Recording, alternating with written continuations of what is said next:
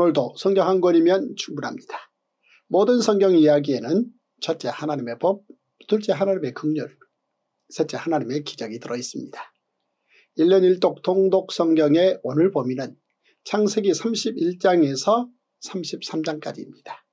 오늘은 형 에서를 피해 외삼촌 라반의 집으로 도망가 20여 년을 살았던 야곱이 하나님의 은혜로 다시 가나안으로 돌아오는 이야기입니다. 야곱의 귀향을 하나님의 은혜라고 표현한 이유는 20년 전 형을 피해 외삼촌 라반의 집으로 도망하던 중 루스라는 곳에서 하나님께 서원 기도를 했었는데 그 기도를 하나님께서 하나님의 때에 응답해 주셨기 때문입니다. 20년 만에 루스가 제대로 배달이 된 것입니다. 이미 말씀드린 대로 루스는 황량한 곳, 쓸쓸한 곳, 외로운 곳, 광야, 황무지라는 뜻이고 베델은 하나님의 집이라는 뜻입니다. 이제 야곱의 삶은 황량하고 쓸쓸하며 외로운 삶이 아닌 약속의 땅에 돌아와 하나님과 함께하는 삶이 됩니다. 자 이제 오늘의 말씀 창세기 31장에서 33장까지 먼저 읽겠습니다.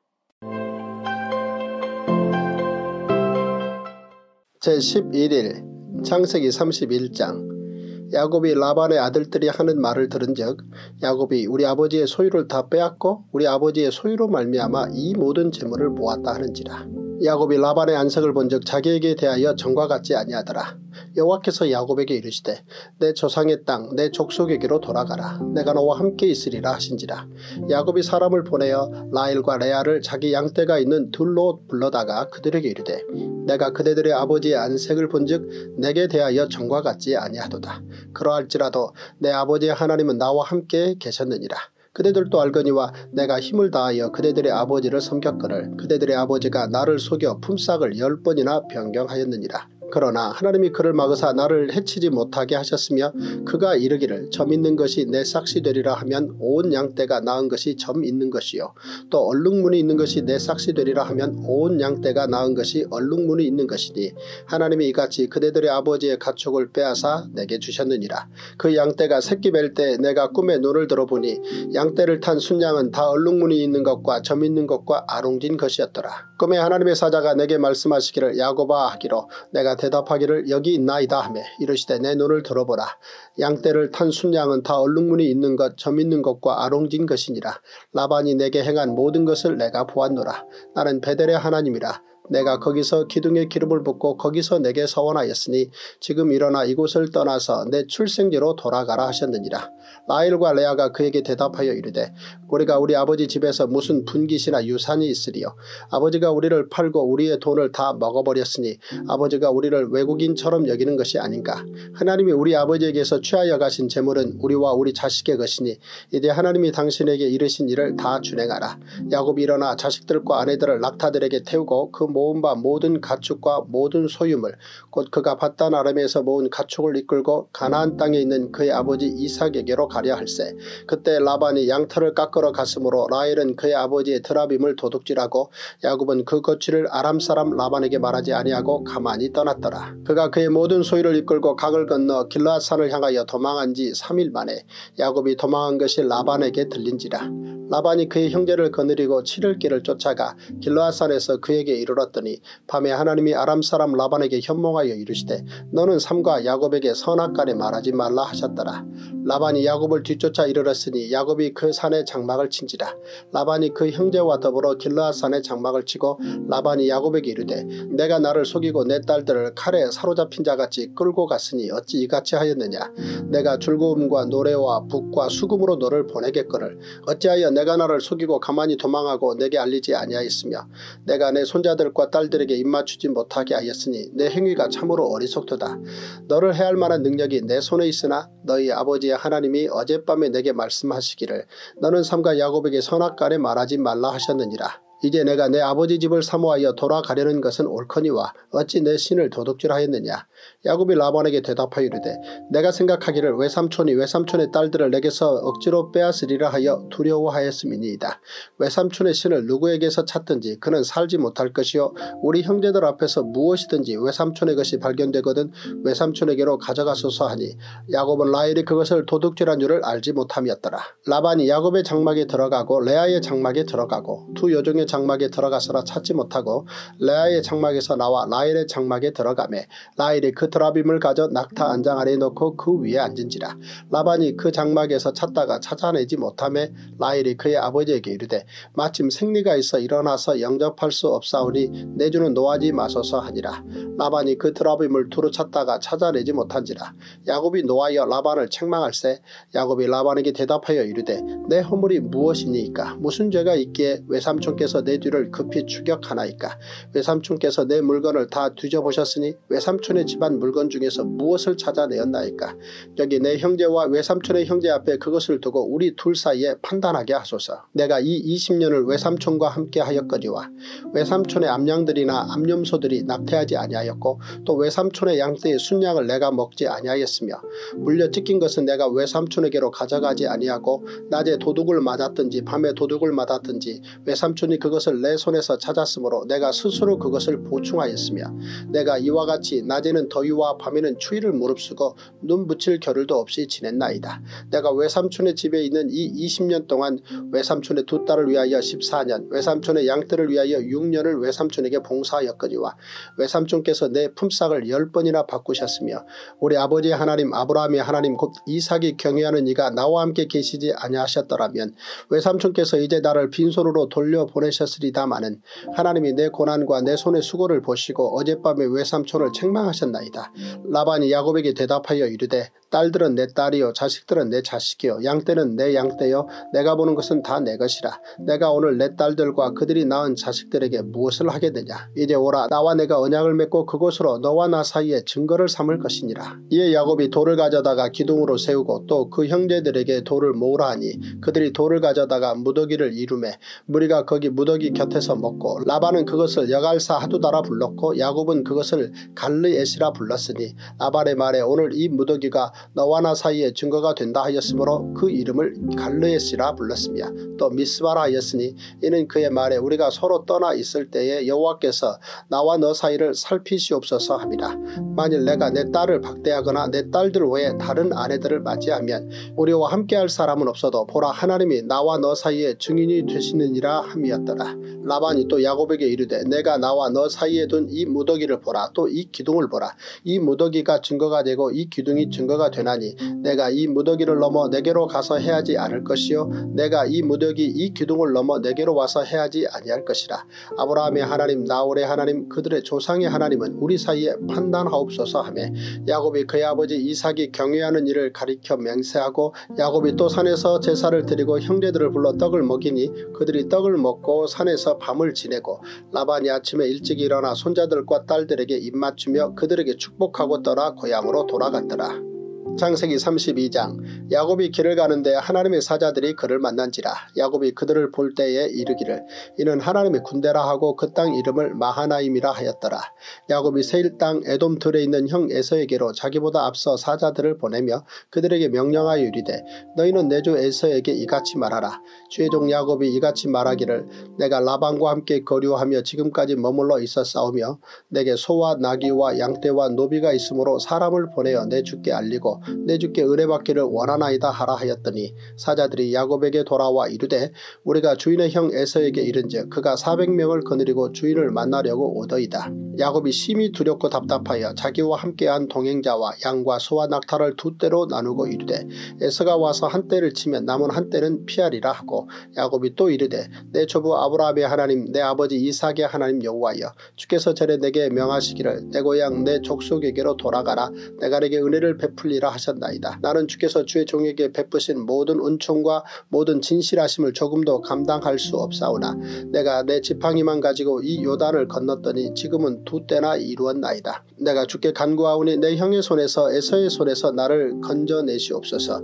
내가 그를 두려워하면 그가 와서 나와 내 처자들을 칠까 겁이 나기 때문이니이다. 주께서 말씀하시기를 내가 반드시 내게 은혜를 베풀어 내 씨로 바다에 셀 수 없는 모래와 같이 많게 하리라 하셨나이다. 야곱이 거기서 밤을 지내고 그 소유 중에서 형 에서를 위하여 예물을 택하니 암염소가 200이요 순염소가 20이요 암양이 200이요 순양이 20이요 전나는 낙타 30과 그 새끼요 암소가 40이요 황소가 10이요 암나귀가 20이요 그 새끼 나귀가 10이라. 그것을 각각 때로 나누어 종들의 손에 맡기고 그의 종에게 이르되 나보다 앞서 건너가서 각대로 거리를 두게 하라 하고 그가 또 앞선 자에게 명령하여 이르되 내 형 에서가 너를 만나 묻기를 내가 누구의 사람 이며 어디로 가느냐 내 앞에 것은 누구의 것이냐 하거든 대답하기를 주의 종 야곱의 것이요 자기 주 에서에게로 보내는 예물이오며 야곱도 우리 뒤에 있나이다 하라 하고 그 둘째와 셋째와 각대를 따라가는 자에게 명령하여 이르되 너희도 에서를 만나거든 곧 이같이 그에게 말하고 또 너희는 말하기를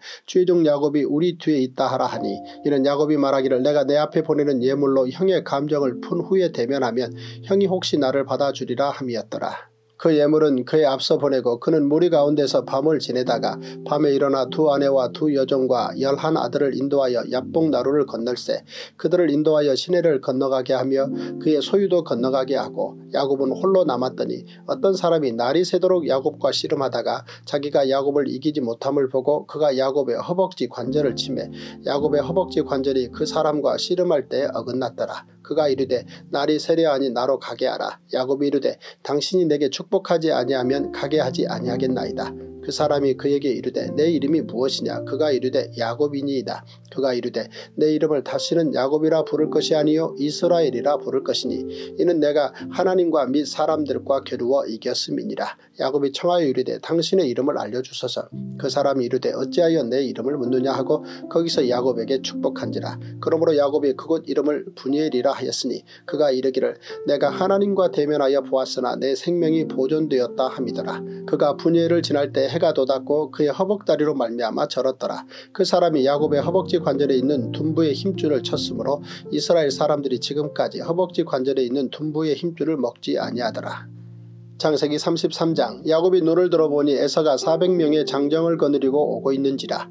그의 자식들을 나누어 레아와 라헬과 두 여종에게 맡기고 여종들과 그들의 자식들은 앞에 두고 레아와 그의 자식들은 다음에 두고 라헬과 요셉은 뒤에 두고 자기는 그들 앞에서 나아가되 몸을 일곱 번 땅에 굽히며 그의 형 에서에게 가까이 가니 에서가 달려와서 그를 맞이하여 안고 목을 어금 맞추어 그와 입 맞추고 서로 우니라. 에서가 눈을 들어 여인들과 자식들을 보고 못되 너와 함께한 이들은 누구냐 야곱이 이르되 하나님이 주의 종에게 은혜로 주신 자식들이니이다. 그때 여종들이 그의 자식들과 더불어 나와 절하고 레아도 그의 자식들과 더불어 나와 절하고 그 후에 요셉이 라헬과 더불어 나와 절하니 에스가 또 이르되 내가 만난 바 이 모든 때는 무슨 까닭이냐 야곱이 이르되 내 주께 은혜를 입으려 함이니이다. 에서가 이르되 내 동생아 내게 있는 것이 족하니 내 소유는 내게 돌아 야곱이 이르되 그렇지 아니하니이다.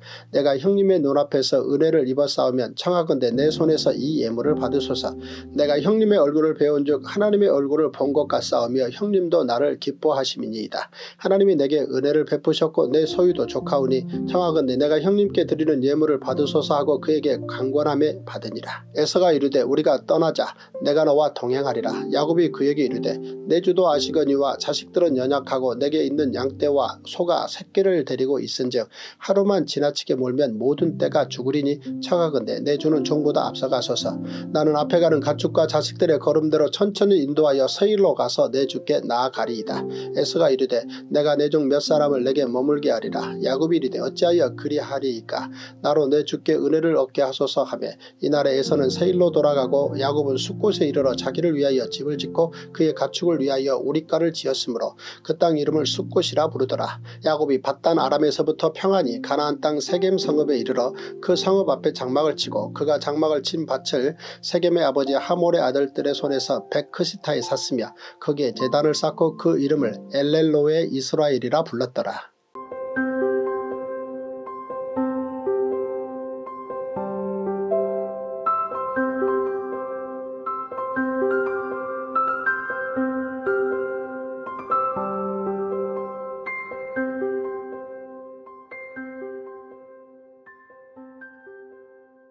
오늘의 말씀 창세기 31장에서 33장에 등장하는 성경 지리 즉 공간은 파따라담, 길러아산, 여갈사하두다, 마하나임, 야뽕나루, 분이엘, 세일, 숫꽃, 가나안 땅 세겜 그리고 엘헬로헤 이스라엘입니다. 등장인물은 야곱, 라반, 라헬, 레아 그리고 에서입니다. 오늘은 바단 아람과 분이엘 그리고 야복강에 대해 살펴보겠습니다. 먼저 바단 아람입니다. 바단 아람은 아브라함이 아들 이삭의 아내를 구하기 위해 다메섹 사람 엘레에세를 보냈던 것이고 이삭의 아내 르부가와 야곱의 외삼촌이자 장인이 되는 라반의 고향입니다. 그리고 야곱이 외삼촌 집에 머물면서 레아와 라헬 이들의 시녀인 빌하와 실바와 결혼하여 자녀들을 낳아 키우며 제사를 모은 곳입니다. 바단 아람은 아람의 평야란 뜻입니다. 히브리어 성경의 헬라어 번역본인 70인 역에는 바단 아람이 메소포타미아라고 번역되어 있습니다. 아람 족속은 셈의 다섯째 아들인 아람의 후손을 가리킵니다. 레브가의 아버지 부두엘은 원래 셈의 셋째 아들 아르박사세 후손으로 아람 족속이라 불렸던 것입니다. 그래서 바단 아람의 사람들은 아람어를 사용했습니다. 바단 아람은 메소포타미아 북부 지역을 가리킵니다. 오늘날 터키 중남부 지역으로 볼 수 있습니다. 그리고 바단 아람의 주요 도시는 아브라함이 갈대아 우르를 떠나 머물렀던 하란입니다. 성경 속에서 바단 아람 지명은 창세기에만 등장합니다. 오늘 우리가 살펴볼 두 번째 성경 지리 즉 공간은 분이엘입니다. 분이엘은 하나님의 얼굴이라는 뜻입니다. 히브리인들의 전통적 사상은 하나님을 대면하면 죽는다라는 것이었습니다. 그런데 야곱은 이곳 나루에서 천사를 만나 밤새도록 씨름했고 허벅지 관절이 어긋나기까지 했습니다. 일 후에 야곱은 이스라엘이라는 새 이름을 얻었고 자신이 하나님과 대면하고도 죽지 않았다 하여 그 땅을 분이엘이라 불렀던 것입니다. 분이엘에 대해서 성경은 사사시대에 기도원이 군대를 인솔하여 미디안 왕인 세바와 살문나를 추격할 때에 분이엘 사람들에게 음식을 요청하였으나 그들이 음식 주기를 거부했고 그 때문에 분이엘 사람들이 기브온에게 죽임을 당했다고 기록되어 있습니다. 또한 분이엘은 북이스라엘의 왕 여로보암이 이 성읍을 요새화했다고 기록되어 있습니다. 분이엘의 위치는 명확하지는 않지만 대략 야복강을 따라 숙구 동쪽으로 8km 정도 떨어진 곳에 있는 현대의 텔 에드 다합 에쉬 세리키에라고 추정합니다.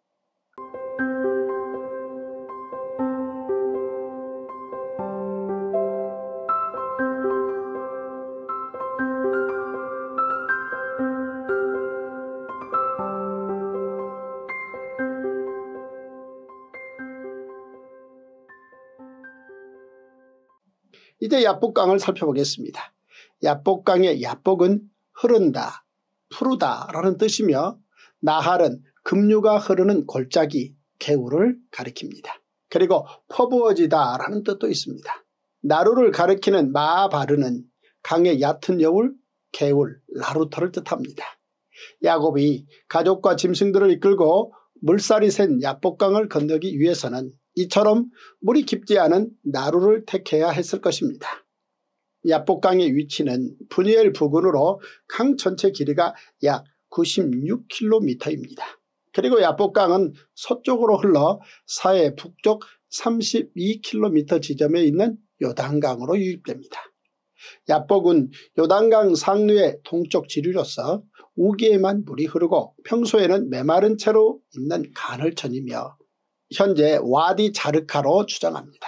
그 이유는 와디 자르카 강 지류에 많은 와디가 있기 때문입니다.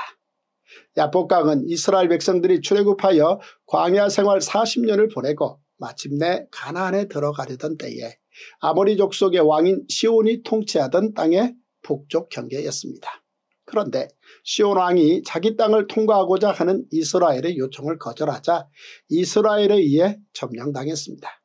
그리고 당시 이 강은 옥왕국의 남쪽 경계이기도 했습니다. 오늘 우리는 야곱이 그토록 무서워했던 형 에서를 만나 형제 간에 화해하는 장면을 보았습니다. 20년 전 야곱은 형의 장자 명분을 요구하고 속인 죄로 형에게 아버지 재산 전부를 줍니다.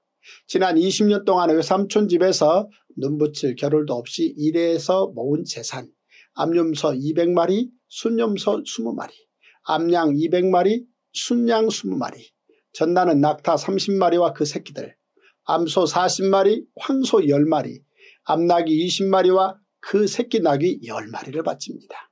아브라함 때 가나안은 하나님께서 보여줄 땅이었습니다. 그런데 야곱 때 가나안은 무서운 형과의 만남까지도 감수하며 돌아오고 싶은 약속의 땅 야곱의 그리운 고향 땅이 되었습니다. 오늘도 성경을 열면 기적이 열립니다. 성경 한 권이면 충분합니다. 와우!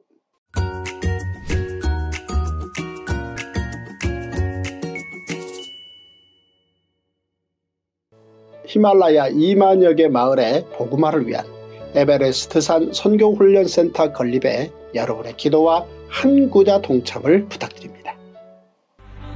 Dr. James O. Davis, the founder and president of Global Church Network, has repeatedly said, For my entire life, I've heard about the underground church in the Middle East, but now it is time to hear about the upper ground church in the Himalayan mountains. The Himalayan mountains are 1,500 miles wide, ranging from Bhutan to Nepal, India, Pakistan, and Afghanistan. There are more than 20,000 villages in the higher altitudes that have never had a local church in them. Mount Everest Training Center. The Mount Everest Training Center will be located in Salokambu, Nepal at the 8,000 foot level. Salokambu has a population of more than 110,000 people. The training center is just 7 miles from the Everest Base Camp at 17,500 feet and 15 miles from Mount Everest Peak, which is at 29,032 feet. In addition to training leaders during the week, the Mount Everest Training Center will serve as a phenomenal church on the weekends.